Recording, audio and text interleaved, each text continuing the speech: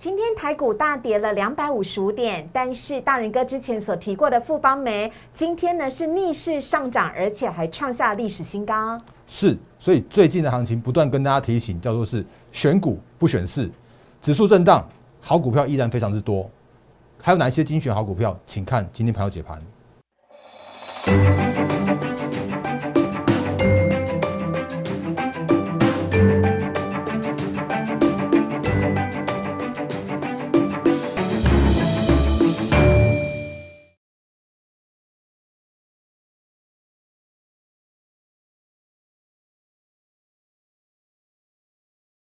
欢迎收看《忍者无敌》，大家好，我是施伟，在我身边的是连诈骗集团都喜欢的陈坤仁分析师大人哥。这样介绍有点怪怪的。哎哎，但真的啊，每一支影片诈骗集团都把它拿去做运用了。我们已经把它下架了，下架喽，下架喽。好，来来，各位投资朋友，大家好，我是大人哥。嗯，好，呃，真的是要很谢谢大人哥哦，因为您上礼拜五在节目当中呢提醒大家可以留意的电子股，今天呢台股的大盘虽然是下跌，而且跌了两百多点。但是这些电子股全部都是逆势上涨收红的。那除了刚刚在节目一开始提到的富邦煤，还有哪一些的股票？赶快告诉我们。好来，呃，请看一下这个画面哦。因为其实上礼拜六一八、礼拜五的时候刚好，然后我们就在在聊富邦煤。哎，其实跟大家讲说，哎，富邦煤可以留意，因为它真的是一个很棒的电商的这个个股。那甚至它今天的话也大涨了八点二二 percent，然后创下了历史新高，盘中一度到一千六百多块哦，这个这个价位是。然后另外的话呢，我们上礼拜有提到的是，因为其实这个时间点。有很多现行整理完毕转强的，比方说像是电动车，嗯，这时间点我觉得有有机会来做发动。比方说像这个礼拜红海他们准备要开那个 M H 的会员代代表大会，对，所以比方像上礼拜有跟大家提醒到的是，像是以盛 K Y 今天也上涨了三点九五 percent。那另外同样系列的是特斯拉，那特斯拉今天的这个经典代表作这个三五二同志，今天有一度涨停板，那中场还上涨了九点六六 percent。所以好股票非常非常之多，同志等他等好久了，大人哥。同志等他等有有有这种感觉，终于启动了。电动啊，以盛 KY 也是啊。是，不过所以这个时间就要告诉大家说，这个时间可以看到很多默默正在转强的电子股有机会来做接棒演出。所以甚至像是今天的话，哎，这个微风，那今天。盘中一度又再度去做涨停，那不过呢，尾盘这样杀下来的话，我们等一下有机会再花时间再跟大家做深入的说明跟介绍。嗯，告诉我们到底微风电子在涨什么？为什么这么的强势？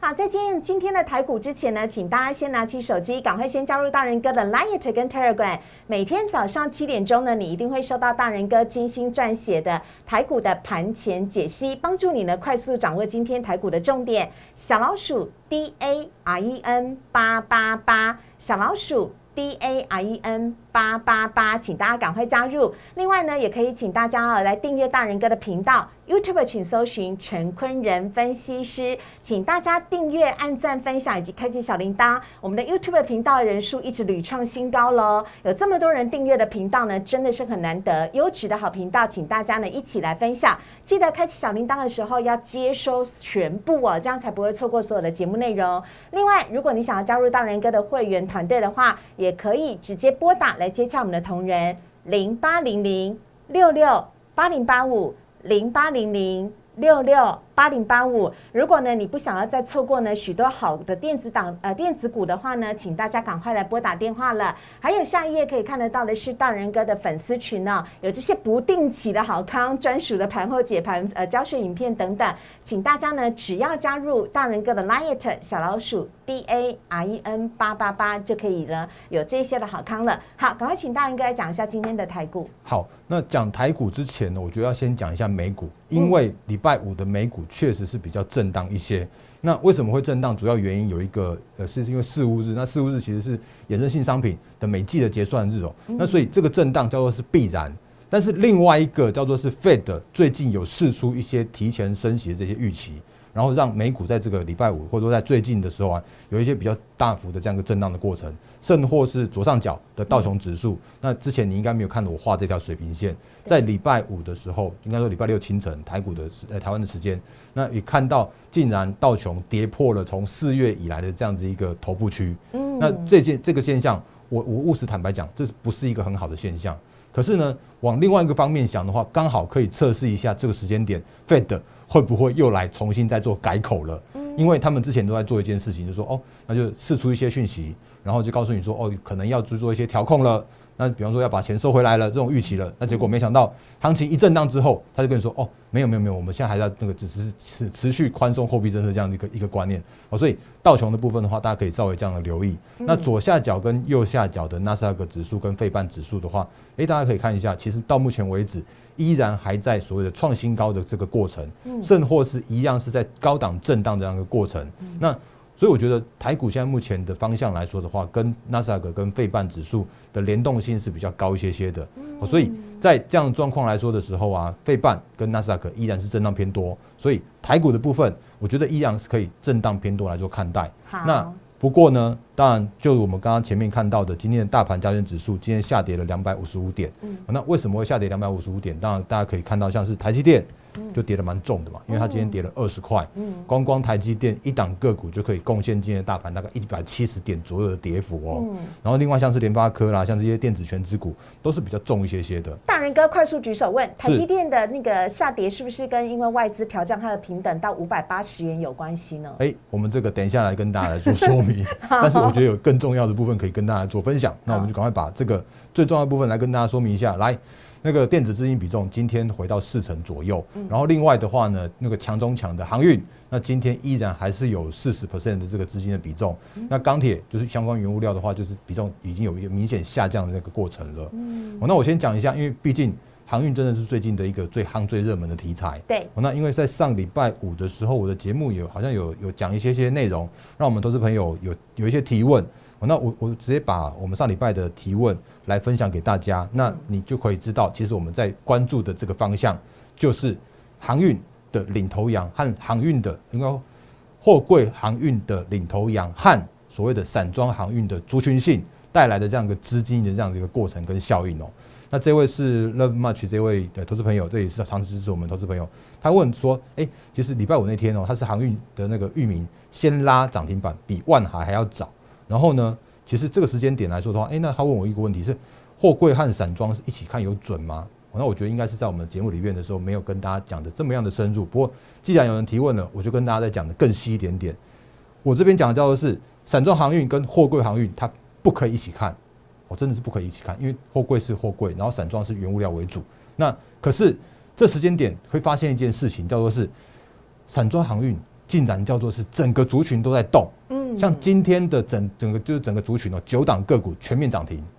哦，所以在这样的状况来说的时候，就大家就可以知道一件事情，就是族群性在动，表示资金在里面，资金在里面就表示它依然是属于一个强势的族群，哦，所以这个是今天我觉得很明显的这样一个现象。好，这切一下给大家看，来，今天的航，也就是散装航运涨了九点九三 percent，等于是全面涨停了。对。那另外的话呢，货柜航运，我之前跟大家说过了，就是货柜你就直接看万海，那万海只要没有挂掉的话。就是整个航呃货柜航运也会续强，像今天的话，这个货柜族群，万海依然是涨涨停板，然后另外的话呢，阳阳明跟长荣今天分别是上涨六 percent 和八 percent 多，那也让这个资金比重维持在航运上面有高达四成以上的这样的水准。是，可是我这边要讲一句话，就是我也很坦白跟大家说一说一件事情，就是这个历史是从来没有看过的事情的。那我再讲一句话，叫做是，如果你看那个最近研究报告。像那个宏远证券，宏远证券它就是最早最早喊喊航运喊这些相关的这个那个货柜族群的，然后它最近不断不断的在调高它的目标价。那它在调高的目标价的过程里面的话，你如果去看一下细部的内容来说的话，你会发现这件事情是它已经是几乎是调无可调了。嗯，基本面都已经是该调都调过了。它现在调的一件事情就是调所谓的股价净值比，比方说它现在目前喊最新的万海到两百七十二块。那他就在喊说，哎，那个股价净值比有可能从三点九，然后到五点一的这样子一个过程，所以他也在看资金。他他这时间点对于所谓的基本面来说的话，已经是一个那个大家都已经知道的这样的一个状况了。可是这时间点如果资金还在里面的时候，那资金会带动这个行情的上涨，或者资金会带来这个所谓的评价的一个往上调调高。那这个就是现在目前航运股、货柜航运也好、散装航运也好，都在走走这样的过程。哦，所以这个是航运的的部分，跟大家在做相相关说明。好，那电子股的资金比重来说的话，现在目前的话维持在差不多接近四成左右，就有点像是想要接，然后但是又接不太起来的这样一个感觉。可是这时间点依然可以看到，哎，有一些默默开始转强的这些现行整呃现行整理完完毕转强，或者是下半年依然趋势成长，或者是下半年正在进入它的传统旺季的这些电子族群，正有机会默默的做接棒，所以是大盘的这样一个方向。所以今天我觉得大盘这样子虽然是这样下跌，可是呢，如果回到所谓的 K 线来说的时候啊，它大方向一样没有改变，就是一万七千点、一万七千三百点以上的压力依然沉重。可是，在拉回的过程之中的话，我觉得拉回收稳，这是一个还蛮不错，有机会可以留意的下一个的买点的出现。嗯，好，那我请大人哥呢，赶快来跟大家呢来聊一聊，因为今天呢在盘中哦，微风电子一度涨停哦，而且大人哥也赶快截图分享给我们的所有粉丝跟会员朋友，跟我们来聊一下微风电子到底在红什么？因为大人哥是全市场第一位看好。微风电子，而且即使微风电子呢的股价下跌的时候，大人哥有对它不离不弃，依旧看好。现在呢，它不仅扬眉吐气，而且还创新高。是，呃，我觉得那个就是因为我之前一直有不断的提醒大家，微风我是看好，非常看好的这样个股。那我记得那时候他在去年的十二月二十四号，他转上市的那天，我就已经跟大家说过了，包含了像是中实电子报也专访我，然后甚至我也跟我们公司若乙也也有拍那个一个就是。IC 设计微风的这个影片给大家，那因为我我真的很担心说啊，如果大家看到我的影片就马上跳下去买的话，你恐怕会买在那个不好不是很好的点，嗯，因为微风它的股性非常活泼，嗯，然后微风的话它叫做敢涨敢跌，所以诶，如果你真的之前追高的话，我没办法告诉你该怎么样做操作，可是到今天为止的话，我相信看我们之前的节目的分享的投资朋友的话，应该是全部都获利的，嗯，那因为他今天到今天为止的话。已经算是创下了波段新高了，这样子一个位置。那微风，我先说一下，就是即使它在下跌，我一样看好它。嗯，所以为什么敢看好它的主要几个原因跟理由，其实我们之前跟大家说过了。原因是因为它就是趋势成长，因为它是做 USB 四 IC 的这个部分。那这就是因为下半年包含了像是那个你看得到的，像是 iPad 的这些相关的接口，或者像是那个它新的 MacBook 这些相关的接口，也都全全部都要改用到 USB 四。所以从 Apple 要用，然后甚至像是我们现在看到最新的其他的相相关的旗舰旗舰机也都要用，所以包含了 Apple 包含了手机，全部都要用改新到嗯改新到 U USB 四，所以这是很非常明确的趋势的。所以甚或是我在呃用快速复习的方式来，那个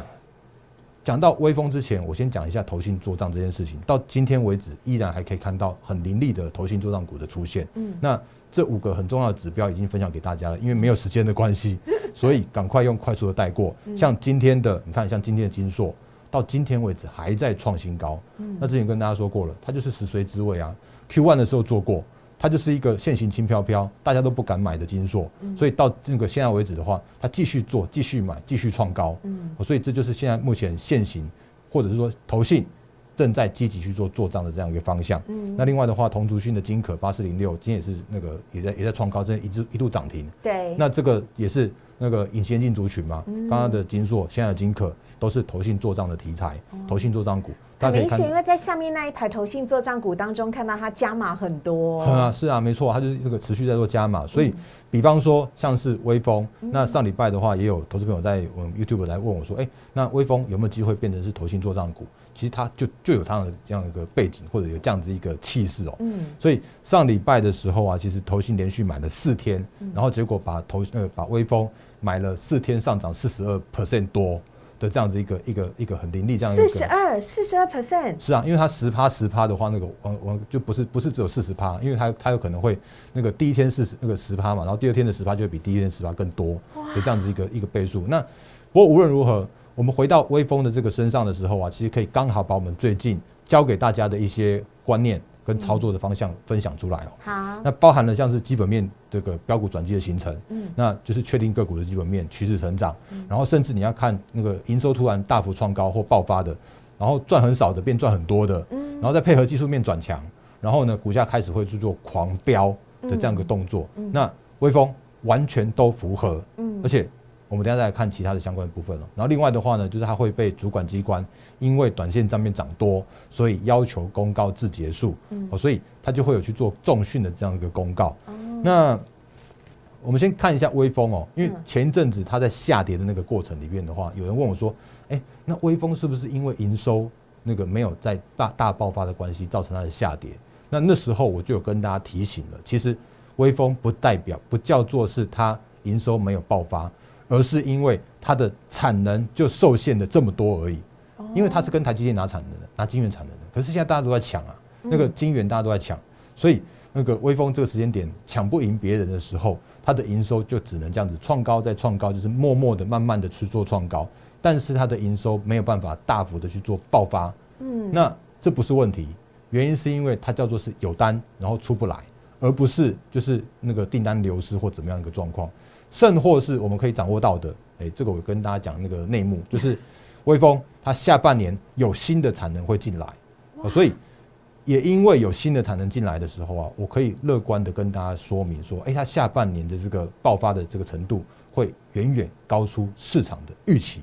所以这个是我们可以掌握。你如果今天有看我们节目的那个那个投资朋友的话，真的赚到了，可以留留意一下。好，那留意一下。来，那继续讲下去的话，是在上个礼拜五的时候啊，在下午四点多的时候，它因为真的短线上面涨多，所以被要求公告自结。那它的五月单月赚了一点零三。那如果以它 Q one 只有二点七四来说的话，其实它的五月单月已经跳到一个一个月一块钱了。嗯。然后甚或是说，如果这种按合理来来估算来说的话。其实它今年的 EPS 赚个十块钱不是什么太大问题，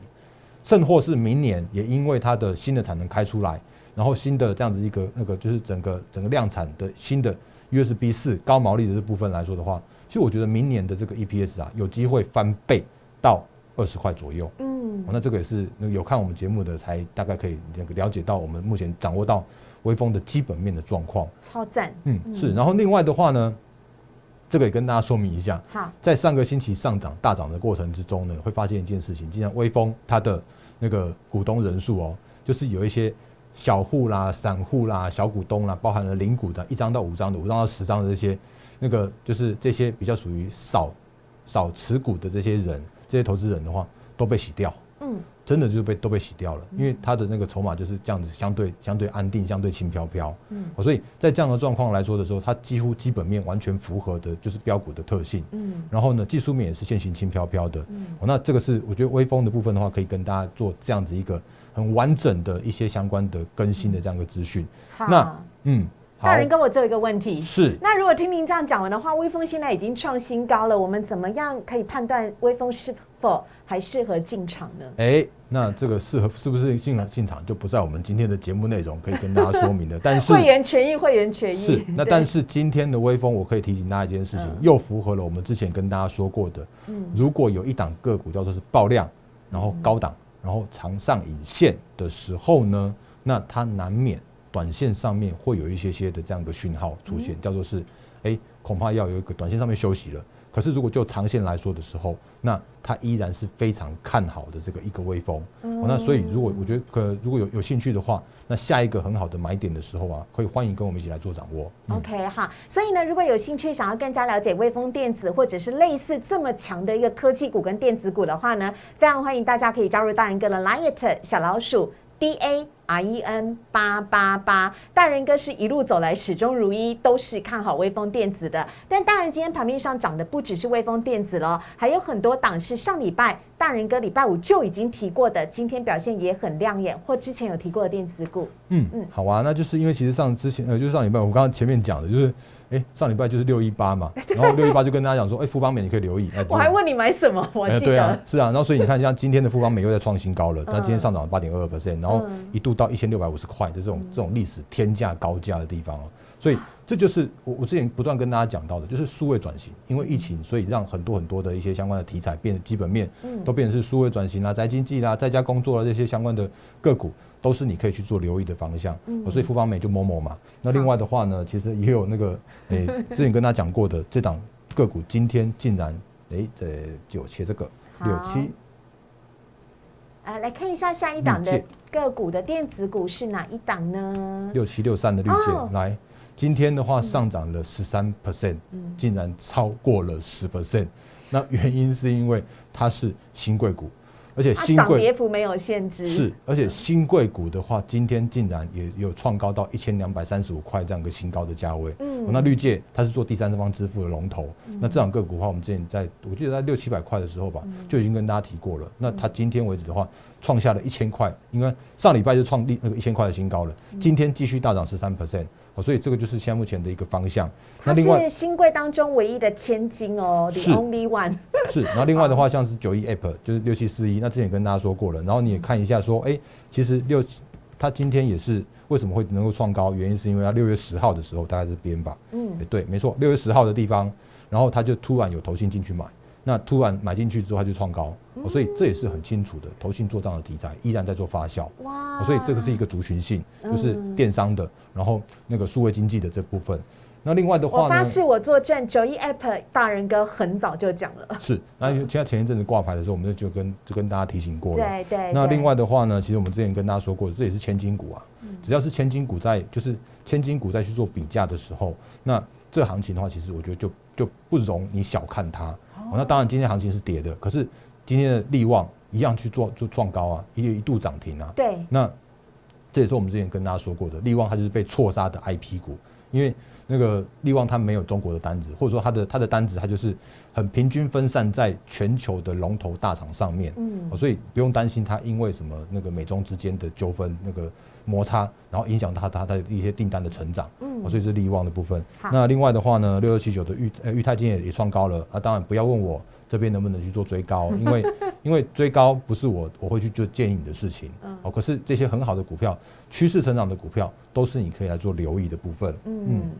所以今天玉泰也是上涨的，是哈哈。节目的最后的最后的最后，赶快把握一下时间，告诉我们台积电到底发生什么事情？为什么它的评比被人成了五百八十元？哎，好，嗯，因为因为其实上礼拜五的时候吧，对，礼拜五的时候，那个突然就突然那个出来一篇新闻，说摩根士丹利的呃分析师，他说他调降了那个台积电的平等。那调降理由的话，不外乎像是毛利率说不会不会维持在这种相对高的地方啊，或者是说它那个涨价的这个效应的话，也会在那个 Q 四的时候告终啦。或者是说，哎，那个这个时间点，台积电的殖利率就是三趴而已啊，所以他把台积电形成叫做是 dead money，那就是你你投资在台积电不会有太大的好处，那他就把它平平到五百八十块的这样一个位置。嗯，那可是我觉得一个大方向给大家，就是我其实我我认同这位分析师的一个看法的一半。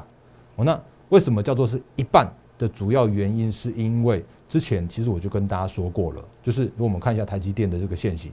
台积电线型它就是那个。几乎在这边去做整理整整理的，所以无论你一月买、二月买、三月买、四月买、五月买，一样都可以买到一样价格的台积电。像今天又回到了五百八十三块了，那往上涨的时候就到那个六百出头又有压力，所以台积电它就是很好，它就是全网，它就是全球技术领先。可是呢，嗯，股价表现来说的时候，它就会被一些压抑在一一些压抑者。那原因是因为它就是一档不得不去做的一个控盘的工具。哦，所以我认同他这一个部分叫做是哦，那个这时候你如果投资台积电的话，你真的会很辛苦。哦，那但是我比较持保留态度的是这个所谓五百八十块的这个目标价的地方，因为如果真的像今天五百八十三了，那五百八加五百八十块应该是蛮蛮快，有可能会触碰到了，甚至是说再往下跌的这个过程之中，我认为它台积电不会是卖点，而很有可能是一个下一波。很有机会的，你可以买到的一个不错的买点的这个地方。嗯，那原因是因为台积电怎么样？它今年就是赚二十三块、二十四块左右，然后明年会继续成长，后年会继续成长，因为全球不能没有它。是，然后对，而且甚至我们我们的疫苗也要靠台积电，甚至他要帮我们去买疫苗，我好兴奋。我我真真的蛮感谢台积电这样子 一个这样子的精神的。那当然，它的那个护国神、护国神机、护国神山的这样子一个全球领先的这样一个地位来说的话，它依然在这边。然后呢，如果有低阶的这个这个价位来说的话，我觉得反而是很好的这个低阶的价位。所以五百八十块，我反而觉得，哎，那个能来的话 还不错。然后呢，不过当然五百二十块你就算买到了，那你可能也是很难有一个比较属于大幅成长的这样一个一个动能，就是很难有这样的一个大幅爆发性的这样一个获利的部分。那如果要一些获利的部分的话，就是持续关注我们的频道。那我会在这跟大家做分享。好，那节目的最后呢，还是要再次提醒大家哦，这个市面上呢，大家都已经知道航运股的好了，人人都是变成航海王。但是呢，重点是有一些蓄势待发，甚至已经悄悄上涨的电子股，你绝对不能够错过。所以呢，请大家赶快加入大人哥的 Light 跟 Telegram 呢，请大家加入，呃，手机拿起来喽，请加入小老鼠 D A R E N 八八八。小老鼠 B A R E N 八八八，每天呢在 Telegram 呢都有大人哥所写的这个盘前解析的部分，Light 的是放在这个记事本的部分呢，让大家呢可以作为一天台股的参考。但最重要的是，如果你想跟着大人哥事先先来布局，像我们刚刚所讲的裕泰啦、微风电子啦这些电子股，你都不想要错过的话，还有同志跟以盛 KY 等等啊。如果你想知道，哎，到底有什么电子股是我可以入手，我可以先来布局的话，请大家呢也可以加入大人。哥的会员团队，请拨打零八零零六六八零八五零八零零六六八零八五来询问我们的同仁，都会有我们同仁来服务您，或者是在 Light 上面，你也可以直接留讯息说姓名、电话，以及告诉我们的同仁你想要加入大人哥的会员团队，就会有专人来协助大家了。我们也非常谢谢大人哥，谢谢谢谢大家，拜拜。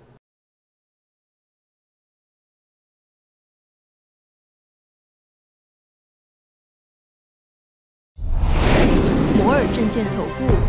零八零零六六八零八五。本公司与所推介分析之个别有价证券无不当之财务利益关系。本节目资料仅供参考，投资人应独立判断、审慎评估，并自负投资风险。